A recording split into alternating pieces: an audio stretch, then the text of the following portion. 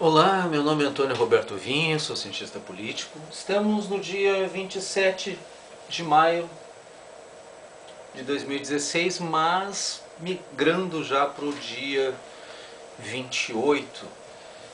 Já cinco minutinhos do dia 28, esse vídeo vai para o dia 28 no ar. É, eu vou tratar agora de um assunto que é corrupção. Tá, parece que não é muita coisa, tá? Parece que não é diferente daquilo que eu estou falando já há bastante tempo, porque eu falo bastante disso, tá? Mas eu vou tratar de, do assunto de uma forma diferente do que eu vinha tratando. Vou tratar quase que com tom sexual. E aí vocês vão entender. Corrupção passiva e ativa dá um, um, entender de que realmente a coisa é sexual, né? No primeira, na primeira impressão. Mas não é a que vai ficar. Porque uh, apesar de ser parecer uma coisa uh, muita uma vez eu fui até uma rádio evangélica e falei isso o pessoal uh, meu Deus do céu Antônio tu tá falando de coisa sexual na numa rádio evangélica isso aquilo não Gente, não é assim. A corrupção ativa é feita por aquela pessoa que promove a corrupção. Tá? Então, alguém promove a corrupção. Alguém compra o voto, por exemplo.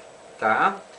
E uma pessoa vende o voto. A pessoa que vende o voto, que cede o seu voto, esta pessoa é uma também é corrupta. É uma corrupta passiva. Ela aceitou a corrupção. E a pessoa que faz, ou a entidade que faz a, a ação, promove a corrupção de alguma maneira, essa entidade ou pessoa, ela é ativa, é uma corrupta ativa. É interessante observar isso para que vocês percebam que existem dois padrões de corrupção, mas que também há corrupção.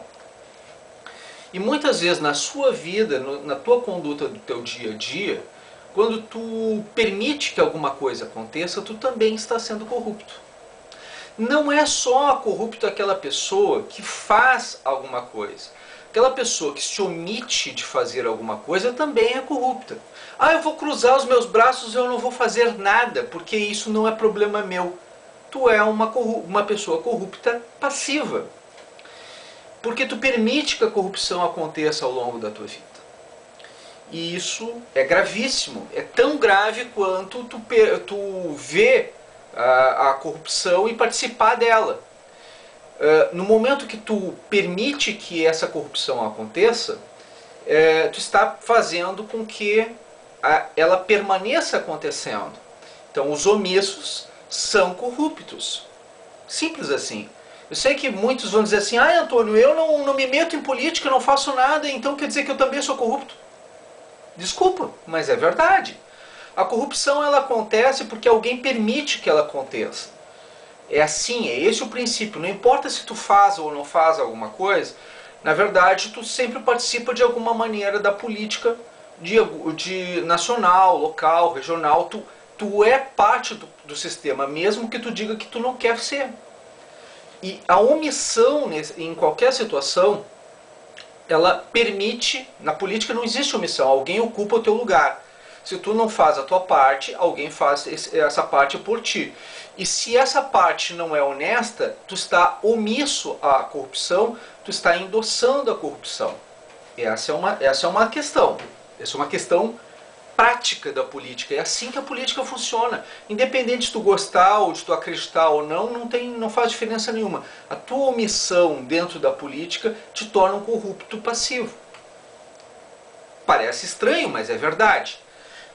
E a inversão de valores, a inversão de sentimentos e valores, a inversão de discursos, a semântica, ah, o sofisma, tudo isso, tu identificando essa situação e tu te omitindo diante disso tudo, ou corroborando para que esse tipo de situação propague, uh, no que tu divulga, por exemplo, algo que tu sabe que é falso, que tu tem noção de que aquilo é falso, quando tu é hipócrita em alguma coisa, tudo isso é corrupção, que pode ser ativa ou passiva.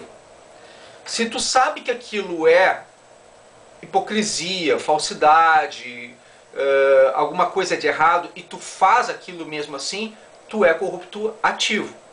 Se tu faz por descuido, sem saber e ou tu simplesmente permite que aquilo aconteça e tu não, tá, não tem nenhuma conduta a respeito disso, tu pode ser um corrupto passivo.